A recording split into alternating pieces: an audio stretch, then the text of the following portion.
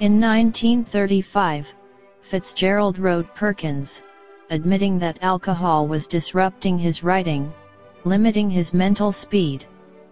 From 1933 to 1937, Fitzgerald was hospitalized for alcoholism eight times and arrested several times.